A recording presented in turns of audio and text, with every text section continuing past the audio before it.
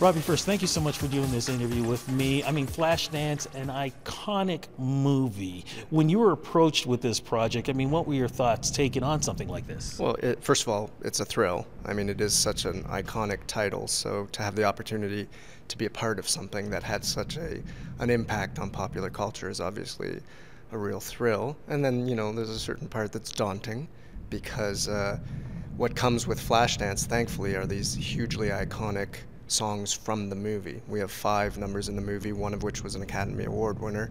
So these are phenomenal pieces of pop music. So, uh, you know, it's it can be intimidating to write the other songs that nobody's ever heard before, but but that as well is a, is a privilege, and and it's uh, it's a great challenge to attempt to write a score that um, feels of a piece, so that you're not hearing Maniac and then hearing another piece of music that sounds like it's from a different world the challenge, and I think we were successful in doing it, is, is uh, to sort of blur those lines. So you're hearing stuff that's familiar, and then you're hearing stuff that just feels right. It feels like you're in the same world. So let's talk about that. How did you take on that type of story when A, we're talking about the 80s, so you have to keep the music in an 80s feel, and two, still tell the story as well as the hit songs did? Yeah, well, I mean, you know, the, the primary uh, job when you're composing a theater piece is to tell the story. That was the mandate, you know, first and foremost. And this does take place in the 80s, but I think uh, I, both myself and the director and the producers, nobody wanted to, to uh, remain hewed to the 80s necessarily. We, I think, in, in all facets of the show, from a fashion standpoint, from a dance standpoint, and particularly from a music standpoint, we have elements that, that are signature elements of the 80s, but it's all done in a very contemporary way. So the sounds that we're playing with are all very modern and cutting edge and, and theatrical still. Um, but I didn't want to necessarily write a period piece. So even um, Maniac and What a Feeling, they have those signature riffs. I love rock and roll, you know, that you have come to love, but they're done in a way that feels modern, and moreover, they're done in a way that um, allows the songs to break open and, and go to a, an even more exciting place in terms of the dance. And that was a, an important part of the show. The entire show has to dance from beginning to end. So uh, my work with Sergio Trujillo, who's a very celebrated Toronto uh, choreographer and director, um, we had to really make sure that all of these pieces of music um, had that ability to break open and really go to amazing places rhythmically. But also uh, the characters themselves, because in the movie, of course, they don't sing. But this time you have to again take that approach as representing that music for each character. Yeah, that's absolutely right. And I mean, you know, for me, that's the the trickiest thing. I always want to be intimidated by. Uh, it, you know, it's it's it continues to me to be uh, uh, challenging to make it believable that somebody just suddenly starts singing. Were I to start singing to you right now, it would be somewhat ridiculous. But but I think we earn it with this show. We we are picking out the places where the emotion is strong enough that it makes sense that these characters do break out into singing. You know, the film accomplishes it in different ways, particularly with dance. We have this added ability that when our characters uh, don't have the ability to say what they want to say in common parlance, they they sing. And I think we've done a, a good job of, of making that leap believable.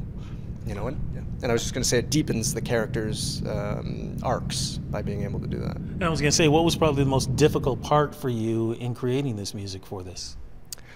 Uh, well, I mean, you know, uh, Alex Owens, uh, our heroine, is is is so well known in popular culture. Everything about her, the movie is so understood and people love it and and you know it's it's a challenge to um, take that and, and adapt it to a different medium. We had to make sure that we were honoring the things that the film does well but we also have to be cognizant that this is a different art form. You can't just put the movie on stage. So i think the biggest challenge for me was to try and uh, maintain those things that make that movie so fantastic but uh, properly twist them so that they belong on a stage.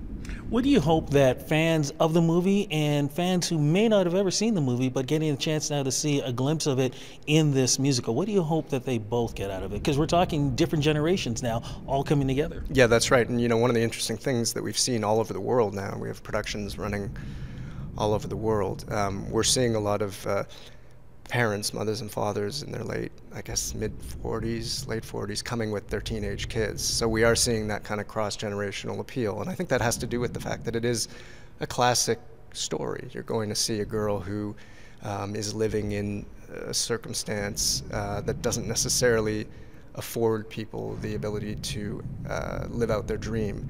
And this really is the story of a girl who just uses her. Uh, you know, uh, overcomes her fears and, and, and finds an, an ability to uh, go out and get this. And I think it, it, so for people who love the film, we're delivering the film. We've got all the classic pull the water, bra off moments that are Flashdance, but we're also enhancing it and making it do the things that a great musical does. We've got a big, talented cast, you know, singing big songs, and the dancing is wild. And, you know, I, so I think I know a lot of people who, who come who don't fully remember the movie and they're immediately taken back to that feeling when they watched it.